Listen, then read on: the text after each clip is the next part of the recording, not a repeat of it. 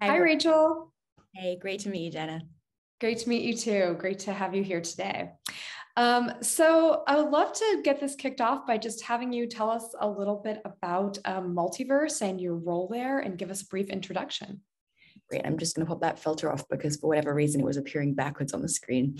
Oh, okay. Um, I'm Rachael. I'm the VP of Marketing here at Multiverse. Um, I've been here just under a year, um, and I've spent my career in technology. Um, previously was at LinkedIn, um, and I'm excited to really share today, like how I'm thinking about brand strategy at Multiverse and how I think about leadership here too.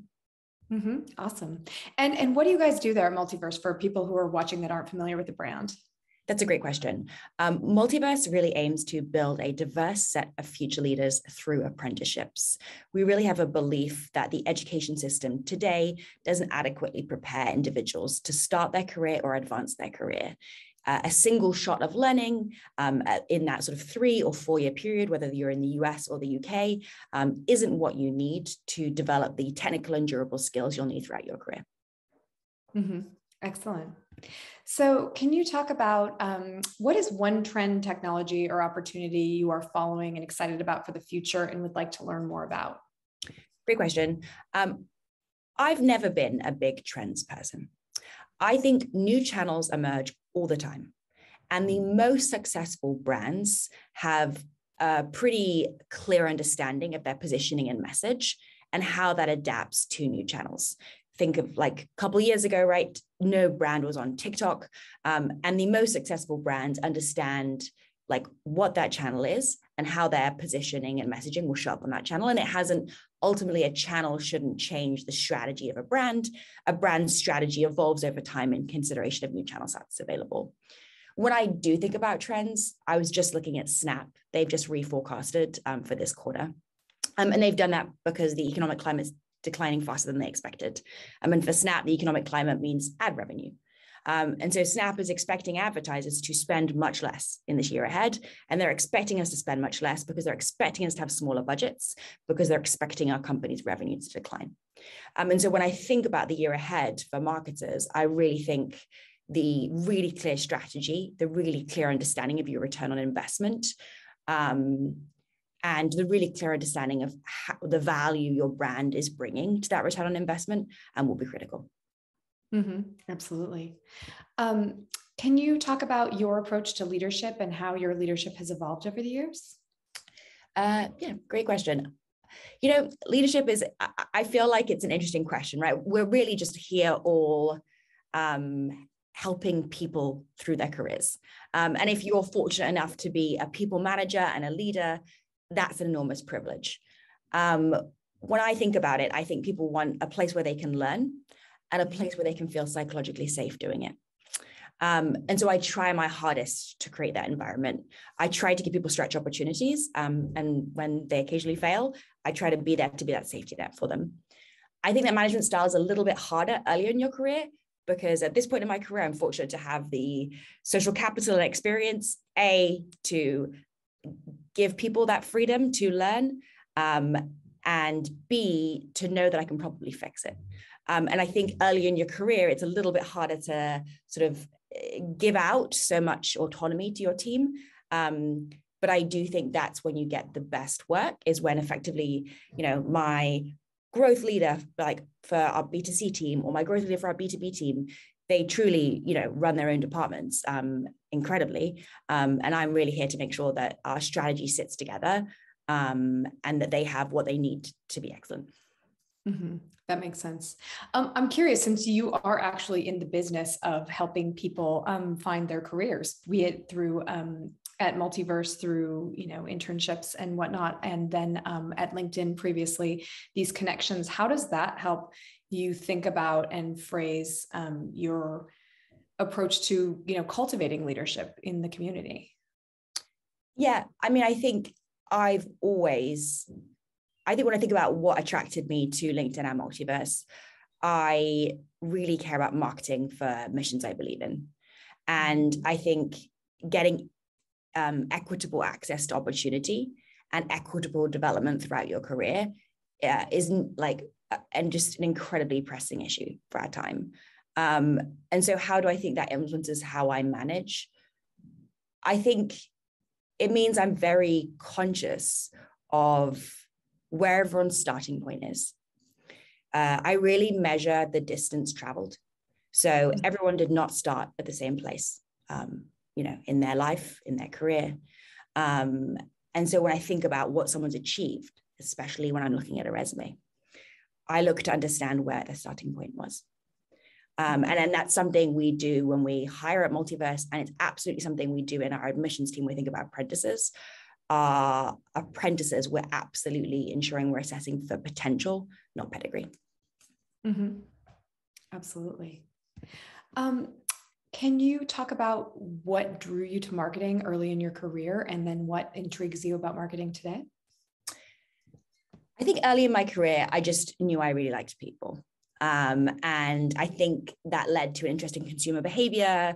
Um, in the UK, we do these things called A levels, and I did one in psychology, and I realized uh, that, you know, I, I, was sort of deeply interested in human motivation.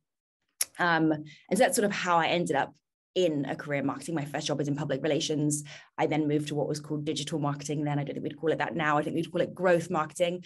Um, and um, what sort of motivates me today, I'd say it, it really is like I, I've changed from being motivated by all human behavior to being motivated by like equitable like it's a change from motivation in all human behavior to a motivation in equitable access um, and and what equality means actually not just in access to jobs but in how we market.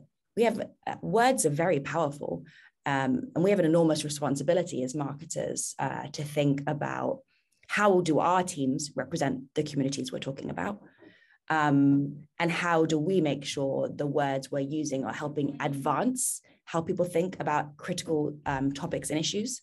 Um, yeah, and so and so that's what motivates me today. It's um, making sure that I'm we're part of changing, uh, you know, assumptions that are made. Mm-hmm. Can you give me an example of some work you've done that supports that mission? Yeah, great. Um, I mean, here at Multiverse, we're kind of lucky to get to do that every day. Um, uh, we really think a lot about, you know, so one of our challenges of our category, right, is the word apprentice up in people's minds something quite specific. Um, in the UK, uh, it's changed quite a lot in the UK, but I think in the UK it's still like seen as you know not as good as university at times. Um, and in the US, it's just oh, I, yeah, I know that they, those happen in Europe, right? Um, I hear in Germany they're excellent for auto manufacturers. Um, and I think our job over the past several years has been to change what it means to be an apprentice. An apprentice is something incredibly aspirational. Like, what could be a better outcome than spending several years at an organization? It's between 12 and 15 months in the US and one and three years in the UK, depending on the program you pick. Um, graduating with no, like graduating your apprenticeship with a qualification no college or university debt, an incredible experience on your resume at companies like American Express, Google, Cisco, Barclays, you know, and I know how talented our apprentices are because they sit on my team. um, and so I really, um, yeah, I really do think that like when I think about how we advance what like society thinks, I think it's about like, what is that yardstick on a resume? Too often people say, oh, Oxford, oh, Cambridge, oh, Stanford, like they must be smart. And we know those snap judgments happen every day, probably in many organizations of the listeners today. Um, and the only way to change those snap judgments is to give someone an alternative, something they can quickly look at and say, oh, yes, that also means incredible. Um, and an alternative to a very like high profile university is a high profile apprenticeship. And we're here to deliver a high profile apprenticeship to change who has access to those opportunities. Mm-hmm. And can you talk about what some of those apprenticeships might be in, for example, which fields? And, and you mentioned such big brands like American Express and Google and Cisco. So, what does an apprenticeship look like from at your client, some of your clients? Great question. Um, so, at American Express, um, our apprentices actually are in software engineering. Um, and so that is a co- very common program um, that many of our apprentices go into. Our American Express apprentices, I think, are at seventy thousand dollars. So these are highly these are highly paid jobs. Um, we're not like here to deliver an unpaid internship. We're here to deliver like meaningful salaries with meaningful uh, salary trajectory. Um, and so our software engineering apprenticeships uh, are like 12, 15 months long, and the individuals spend 12, 12 weeks getting to grips with the basics, you know, and then they're into the job. Um, and it is 80% of the time delivering real code shipped to real features, um, and 20% of the time developing your skills. Um, and that applies to software engineering and also applies to marketing. Our marketing apprenticeship, we have marketing apprentices at WPP, at Omnicom, um, and I can speak to our marketing apprentices because I'm so fortunate to have two on my team. Our TikTok channel, our social media is our top source of apprentice supplies. Our TikTok channel is run by Yasmin. Yasmin's 19. She's one of our incredible apprentices, and she's so good at it because she does not have to imagine what the persona of a 19 year old is. Mm-hmm. Yasmin is uh, our target audience. Um, she deeply resonates with our target audience. And most importantly, she's deeply committed to being successful in her role because she, there's no cause she cares more about than the journey that we're on. Um, so, yeah, software engineering, marketing, uh, data, uh, those are like a key, like key three. And then we have one called uh, Digital Business Accelerator.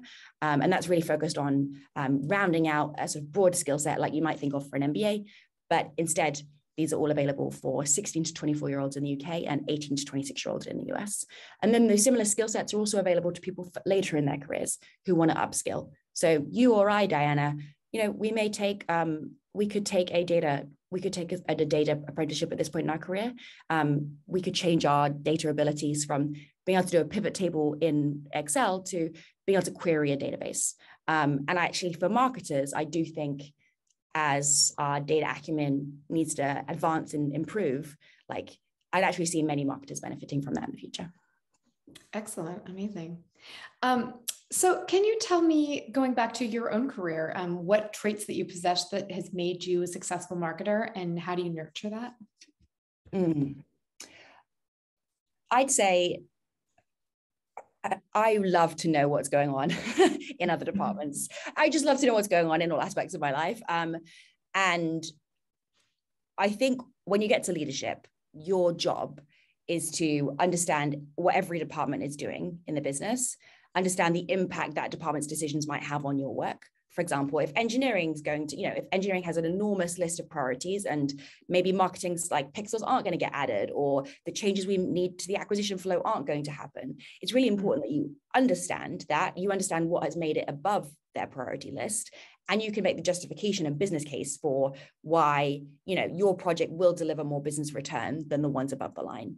But if you're not able to speak to the vp of engineering you're not able to understand those other priorities on their list and you're not able to sort of build that business case and have that discussion you're not going to have a seat at the strategic table. And, and most importantly you're not going to be able to advocate for the best things for the business that you work at. Um, and so when i think about what has like made me successful i guess it's i've always taken the stretch project. Every time a project comes up that is it really marketing? When i was an ic i would take every project that wasn't really marketing because i just wanted to know like uh, I remember doing like an internal consulting project at LinkedIn where I had to reorg a 4,000 person sales team. Nothing to do with marketing. But I took it because I now know how to reorg a 4,000 person sales team. And that is an opportunity that comes up so rarely in your career that I understand deeply how every process in sales works because I had to remap every salesperson from the job they were in to the job they were going to and their skill and knowledge gaps. So, because I've done that, I know the skill and knowledge so many flavors of salespeople need that when I'm training them on how to sell a new product from marketing, it feels like a piece of cake. Right. That's amazing. I love that example. Um, can you talk about other experiences you've had that have, you feel have helped prepare you for the leadership role that you're in today? I think I've been really fortunate with international opportunities. Um, if you were watching this in the UK, I mean, few brands, there are plenty of examples, but most brands have to look out of the UK to grow to be big enough. Um, and so they'll look to Europe to expand, or they'll look to the US to expand. Multiverse operates in the US and the UK. I'm here in New York today. Um, and so, because of that, marketers who have experience in Europe or in Asia or in the US will be more valuable. Um, mm-hmm. And I have had the opportunity to live and work in the US for a decade, um, in Beijing for two years, and in London, actually the least time, I think five years maybe, but I am originally British.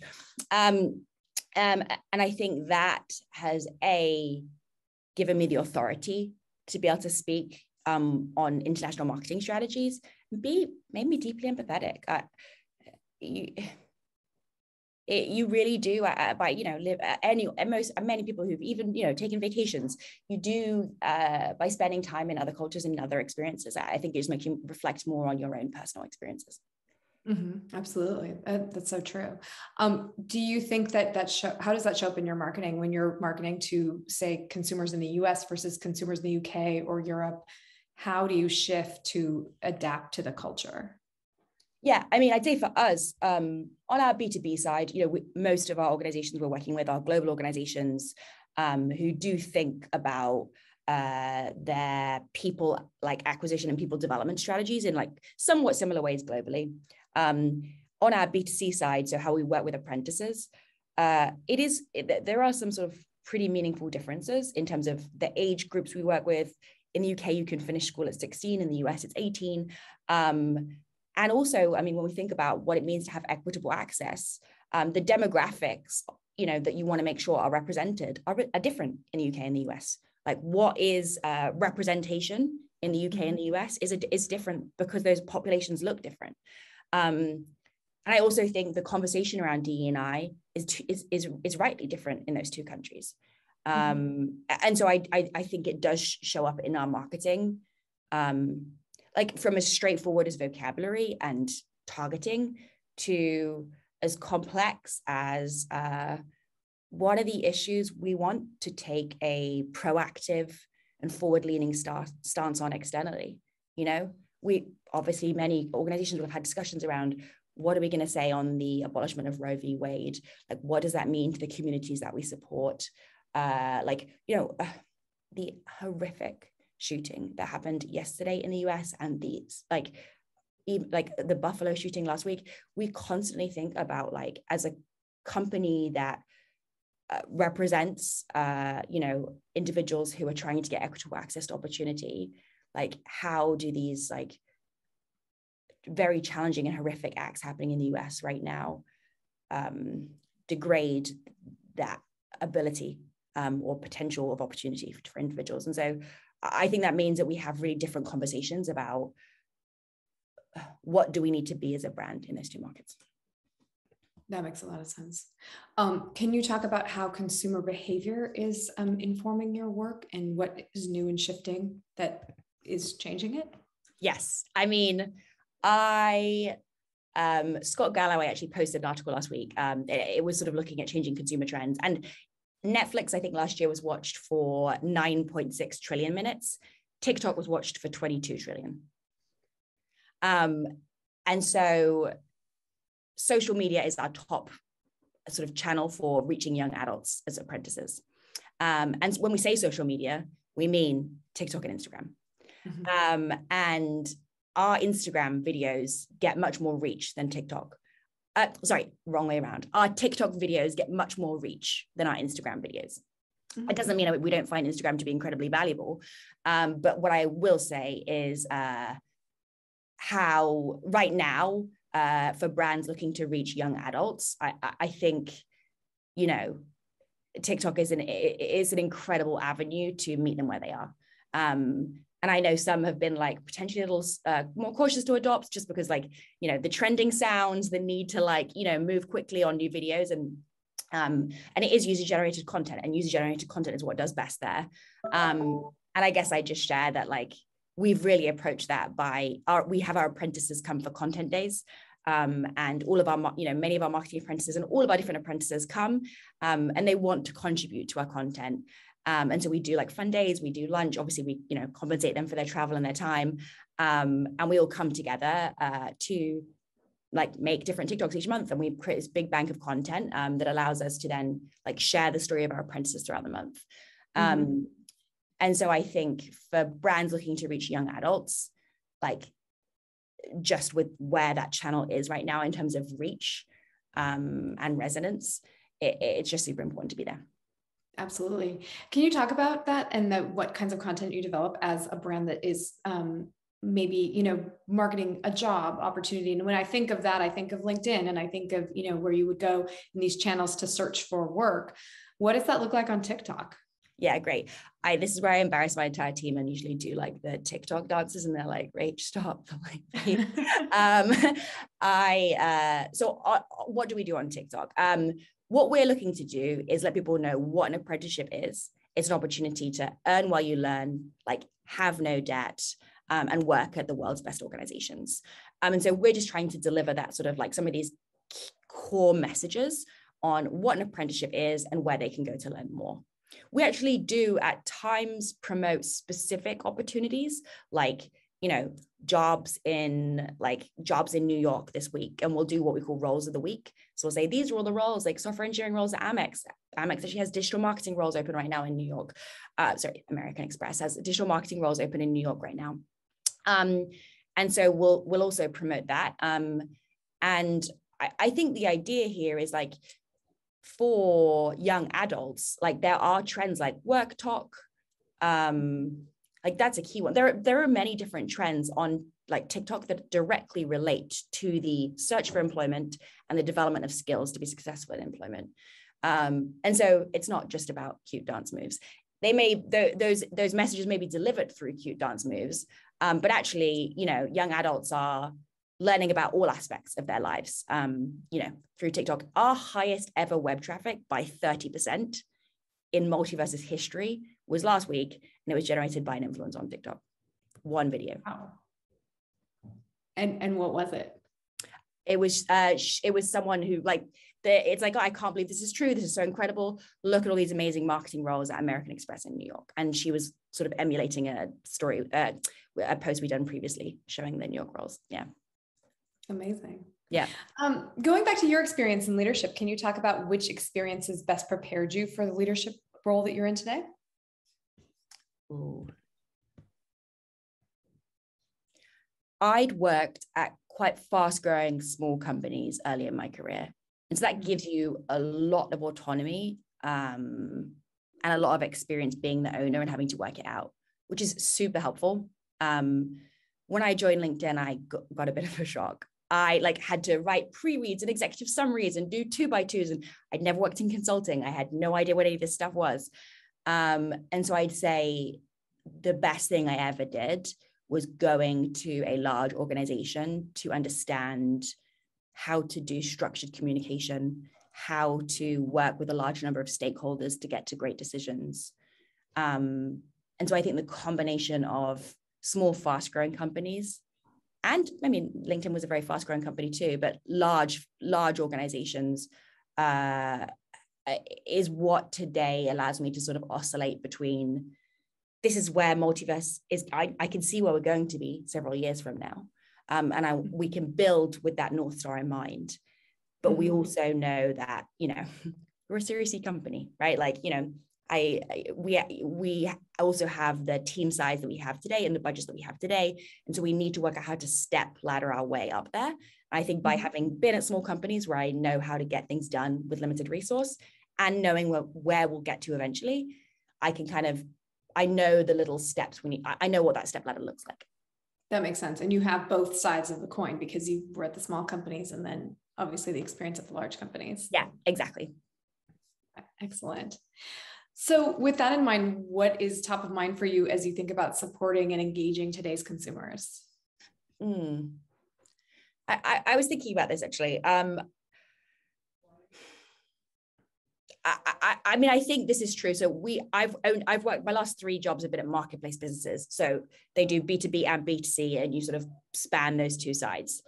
Um, I think what I've noticed in my career is that as someone who's had the chance to work at marketplace businesses with, you know, CXOs and 16 year olds, uh, that there's not as much difference between those two audiences as we make out everyone wants to be understand the value that's in it for them um, and everyone wants to be spoken to in a language that resonates with them um, mm-hmm. and for a ceo yeah that's different than an 18 year old but the approach and the framework that you execute to be successful in that is the same. Um, and so when I think about that, I think, you know, if our most common medium is a 16 second video, we better have on TikTok, we better have a pretty straightforward, resonant message um, that can be communicated quickly. Mm-hmm. That makes sense. So then, how are you personalizing the consumer experience as you partner? Um, you know, from the start with, say, a, a, partner who's the CEO of American Express to um, an 18 year old who's starting their career and trying to take it further. How do you create the different language? Yeah, um, I mean, I'd say every CEO we speak to cares about two things right now. They care about uh, having organizations that represent the communities they serve, right? They care about equitable access to opportunity. That's something every CEO deeply cares about. And they also care about their skill gaps. They know they have technical skill gaps and they have durable skill gaps, durable, sometimes called soft skills. We don't call it that, but in case anyone on the call doesn't know. Um, and, and so when we speak to CEOs, we speak about those two problems because apprenticeships are a solution to those two problems. And, and so that's how we frame.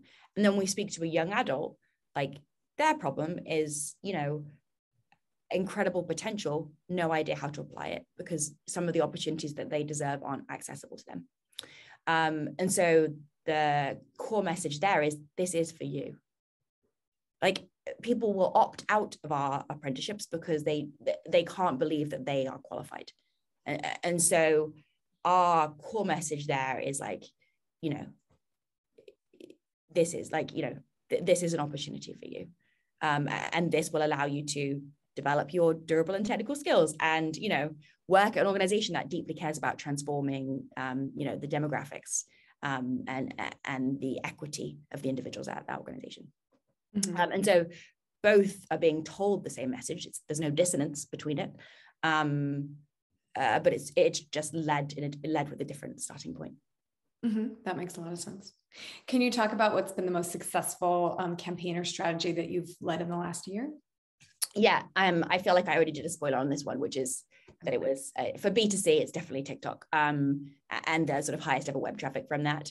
Uh, for B2B, actually, uh, it's, um, you know, obviously account based marketing and all of those things are the bedrock of what we do and, and partnering deeply with our sales team to make sure that you know every uh, prospect that's on their list is also on marketing's list.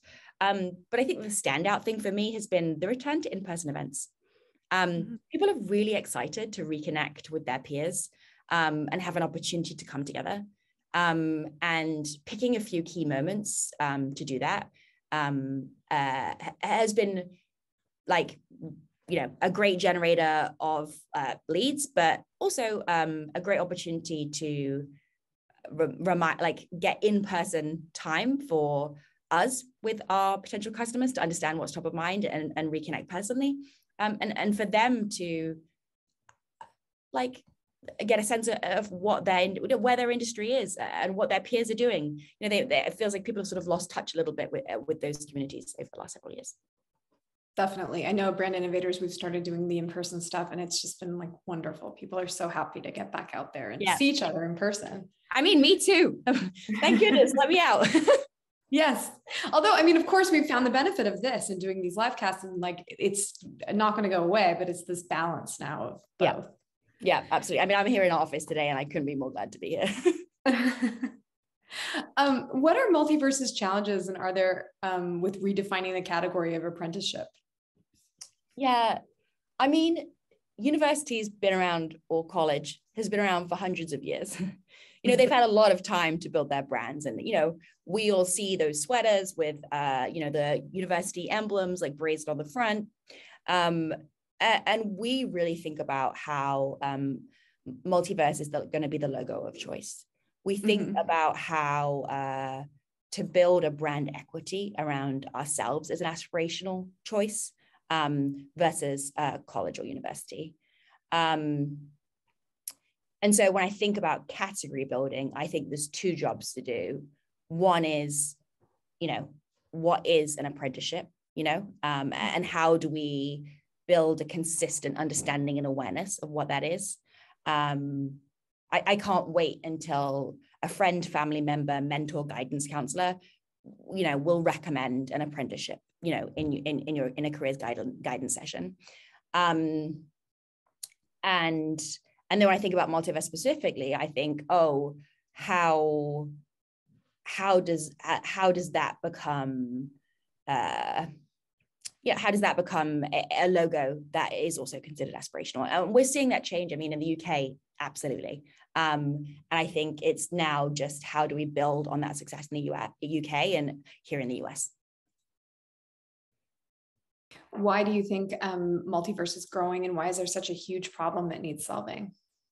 Yeah, I mean, in the UK, like there's 500,000 additional workers needed this year um, to fill jobs in the digital sector, um, which is three times the number of computer science graduates. And so there's just a real, like, there's just a hard skill mismatch there right now. Um, and in the US, actually, uh, if one large one large tech organization shared with us, if they hired every single computer science graduate in the US this year, they still would have open roles. And so from a pure skill gap issue, there has to be an alternative to, you know, college or university. And like at the same time, you know, 3.4% of individuals in the UK who claim free school meals make it to a top university, 3.4%. And in the US, Black and Hispanic Americans are disproportionately excluded from jobs that require degrees. And so there has never been, you know, when we think about the skill gap, when we think about building organizations that represent the communities they serve, like there has never been a more acute time to address those. And we're hearing that from CEOs. And so I think the acknowledgement that what we've done can't be what we keep doing um, is universal. And I think that is what has powered Multiverse's growth over the past several years.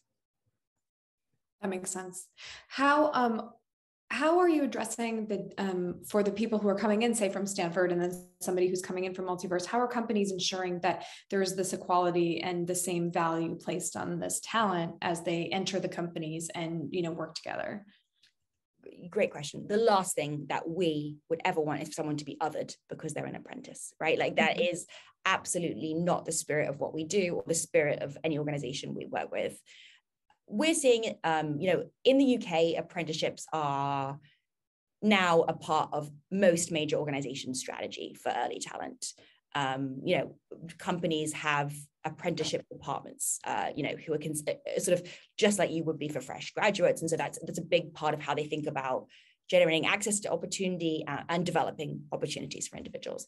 And we're starting to see that in the US too. I know at LinkedIn, um, we have an apprenticeship you know team apprenticeship program managers um, and they have apprenticeship programs in place that they run internally um, and we're seeing that at other leading organizations in the us too um, and so we're beginning to partner with those organizations who have apprenticeship programs internally to work out how you know we can how multiverse can also run alongside those programs um, and replace or potentially like assist and replace those programs. Um, and then for organizations who haven't quite got to that point yet, where they feel like they can run apprentice programs themselves, obviously we can do that for them.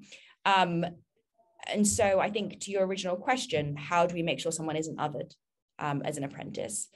The goal here is to make apprentices the, you know, just one of the key parts into an organization. It is not othering because it's it, it it's a large it, it's a large group of people. It's considered uh, it, it's considered a producer of excellent individuals, and those individuals are still there progressing throughout the organization and mentoring and sponsoring new incoming apprentices. That makes a lot of sense. Excellent. So, just my last question for you would then be what do you think is the future of work? Oh, that's it. um, what do I think is the future of work? you know, work's seen a lot of changes over the last several years, which we all know about. So I'm not going to bore us by going on uh, uh, discussing those. They're like, we really have, you know, when we think about a potential economic downturn they're about to experience, there will be a lot of pressures on margins at organizations. Um, and those pressures on margins will translate to how can we automate this? And how can we automate this will translate to how can we use like data and engineering skills to automate. And so it will only further, you know, it will only further sort of exacerbate and accelerate that skill gap. Um, and so I think that is going to be something that will continue over the next several years. Um, and then I think retention, right? We we've seen this over the last several years. It's it's been incredibly challenging for uh, organizations to attract and retain talent. I'm not sure how that's going to change in this coming year, but what I do know is every CEO now recognizes that their competitive differentiation is people. Um, and whether you're in a downturn or not, you know that having the best people at your organization is what will stand you at, stand you apart. And so I, I think there's never been more commitment to attracting high potential individuals and developing them. Um, and I think that's where a lot of the future of workspace, you know, how to offer better benefits, how to uh, understand attrition like risks, you know, all of this, you know, software and programs and services around future of work it is really uh, how can we make sure the thing that's of most value to our business people um, are understood, you know. Excellent. Well, thank you so much, Rachael. This has been really insightful. I love talking, and we're so happy to have had you. I hope to have you back again. Yeah, great to meet you, Dianna. Um, thank you so much.